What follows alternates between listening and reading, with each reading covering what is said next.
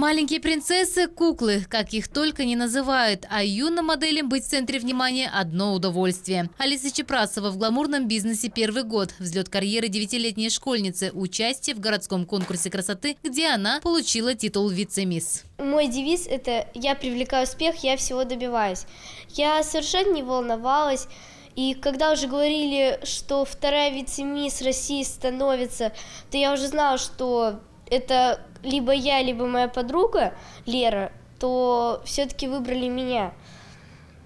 Некоторые у нас, конечно, плакали, в этой подготовке участвовала вся семья Алисы. Вместе придумывали номера, визитку ежедневно репетировали. Родители считают, что такие мероприятия сближают членов семьи, развивают в ребенке творческие способности и закаливают характер. Изначально это было ее желание, потому что Алиса у нас любит э, выступать перед публикой, вот, любит э, демонстрировать с детства творческие э, номера. Однако на подобных конкурсах участницы соревнуются не только в красоте и талантах. Это и жесткая нервная борьба. Каждым каждым годом детских конкурсов красоты, где возрастной ценз колеблется от 4 до 15 лет, становится все больше, а возраст их участниц все меньше. Так, сегодня появились состязания, на которые бороться за титул главной красавицы. Мама приносит своих грудных малышек. Представители же модельного бизнеса считают, что идут в ногу с мировой индустрией. Делают счастливое детство еще счастливее. Дети становятся более открытыми, более коммуникабельными.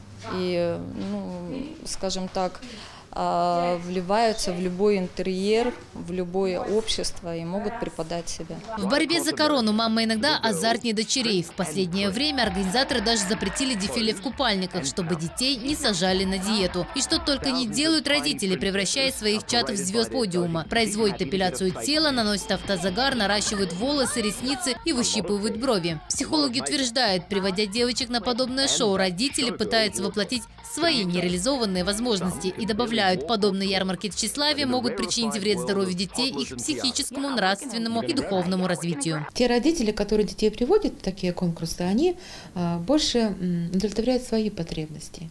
А детский успех используют для компенсации каких-то своих личностных или социальных неудач. А, простая, но важная вещь. Ребенок ради любви родителей готов родительские потребности, а, чтобы определяли его действия. В Госдуме сейчас рассматривается законопроект, запрещающий проводить детские конкурсы красоты. По мнению инициаторов нововведения, дети не должны участвовать в мероприятиях, связанных с оценкой демонстрации внешности. Нарушители будут бить рублем. Для граждан штраф составит от 4 до 5 тысяч. Организации рискуют поплатиться даже миллионом. Мировой практике уже есть прецеденты, когда намеренно отказывались от детских конкурсов красоты. Так во Франции подобные состязания попали под запрет после того, как детям вкалывали ботокс и силикон. У нас в стране детей не пускают на подиум в Краснодарском крае, причем с 2007 года, когда дети дефилировали в купальниках. Туяна Немаева, Константин Синицын, Александр Мокин, Александр Барановский. Новости сейчас.